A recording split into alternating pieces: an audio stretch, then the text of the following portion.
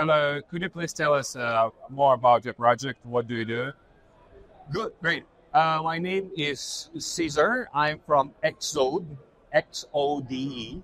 We are a blockchain in the Kusama network. And uh, aside from over here, X Game is also an in house gaming, a Web3 gaming platform. And X Game is uh, what do you call this? We have uh, 21 games in different stages of development. So uh, it's just a use case. X game is one use case for Xode, the uh, blockchain. Okay, okay, great. Okay. Um, could you please tell us uh, about any upcoming uh, events, any any integrations? What's what's the integrations are coming? Okay. Well, right now we are a very uh, brand new blockchain. Uh, we actually uh, attained mainnet last February 14. So we're very, very new. Right now, uh, what we have in the pipeline is uh, to launch uh, our native uh, coin. Okay, Yes. great. Um, could you please tell us uh, more about some of your showcases? What have you done so far to Yeah. showcase uh, your technology? Okay, uh, right now, uh, as far as the blockchain is concerned, we're still um, we are working with together with Zine, and uh, Zine is making sure that uh, all the technical glitches are ironed out, and uh, sometime in uh, June or July, we will have that big launch of our uh, native coin.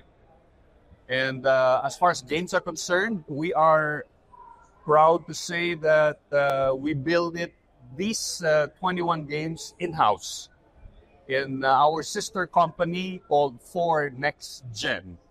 And uh, we have one game. This is an MMORPG. It's a massive game. So we are co producing that with some Eastern European uh, game houses. Keveru, I think. Uh, yeah. Uh, could you please tell us your roadmap for 2024? Well, uh, very briefly, our roadmap is uh, we were very focused on making sure everything is smooth sailing before we go public. And uh, the focus now is building communities uh, because we would like to encourage, uh, by the way, uh, Xode is the very first blockchain ma- uh, made in the Philippines. So we're the Philippines' first blockchain. So we are encouraging game developers in the Philippines to port their games into Xode. And that's it. All right. Uh, how long have you been in the Polkadot ecosystem? Oh, uh, mainnet is, like I said, very new, but uh, about two and a half years. Uh, we st- our journey actually started with uh, us winning the um, hackathon, the Polkadot hackathon. That was like we won third place. Oh. We're very proud of that. Very good. And the last question, uh, could you please tell us what is the power of Web3? Oh, the power of Web3 is ownership. Yeah. Um, we're, we're very lucky to be alive and uh, we are in this new, very exciting development where we take away the monoliths, break them down, and uh, democratize the use of the internet. Thank you. Thank you so much. Okay, thank you.